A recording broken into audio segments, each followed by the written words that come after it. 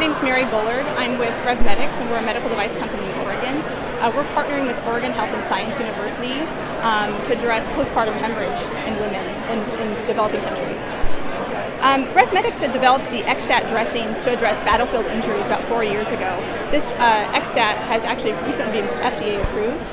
Um, and what we're doing with the Saving Lives at Birth grant is actually looking at transitioning this technology for postpartum hemorrhage.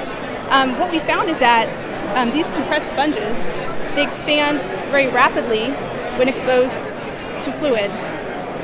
When they're uh, placed into a wound cavity, they expand rapidly, apply pressure uniformly, and actually are incredibly effective at stopping bleeding.